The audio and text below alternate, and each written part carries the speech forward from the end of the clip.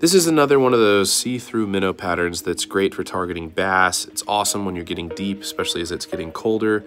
Right now it's October and in Texas it's finally under 90 degrees. So you can use flies like this to get a little bit deep and target some of the deeper bass uh, as the weather changes. We're gonna be using this awesome material called Senyo's Laser Dub in Rusty Bronze. That's the kind of the red innards that I've got underneath these other two. Man, this thing is going faster than I can talk. The materials I'm using for the body are gonna be Ice Dub Shimmer Fringe in UV Pearl. That's the white one on the bottom. And then the other one is called Sybai's Ghost Hair in the color olive. These two materials are so cool because when they get wet, they get translucent and they also have really great action because they're so light. So when you're pulling this thing, it kind of not only shimmers and is see-through, but it moves really, really well.